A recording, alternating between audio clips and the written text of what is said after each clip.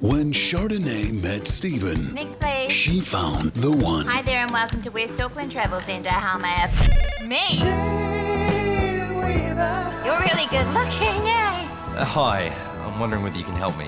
Which motorway do I take to get out of West Auckland? Um, let me just find out for you. And he found her family.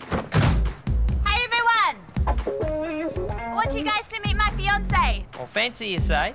Fiance, you dumbass. You may think you're fancy, mate, but you ain't nothing around here. She gets my bloody daughter up the duff. Oh my goodness, no, Mrs. Blood Eagle. Oh. From the makers of My Big Fat Greek Wedding comes a new tale. Oh, I wasn't round your hairstyle, you pretty little. It's going to be a wedding to remember. Do you want to drink there, hot stuff? Oh, I'm okay, thanks. I don't drink alcohol. I'll just give you a Smirnoff ice then. Do you want to wrap your lips around there? Uh, you're my fiance's sister. Oh, vibes. it's cool as. She reads all my boyfriends. Oh, that's, that's, that's, that's lovely. But not without a few road bumps along the way. What are we gonna serve at the wedding? Woodstocks or Cody's? I never wanted to have to make this decision. Oh, harden the f up, Chardonnay. Look, guys, um, I may not have long hair down the back of my neck.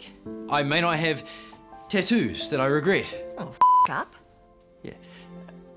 And I may shower every day. But I love your daughter. And I'm gonna prove it to all of you. Ah! Cool story, bro.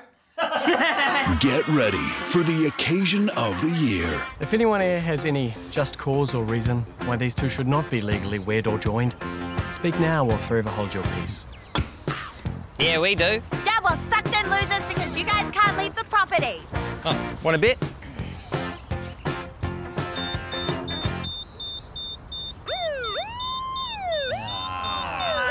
You guys ruined everything. My Big Fat Westie Wedding.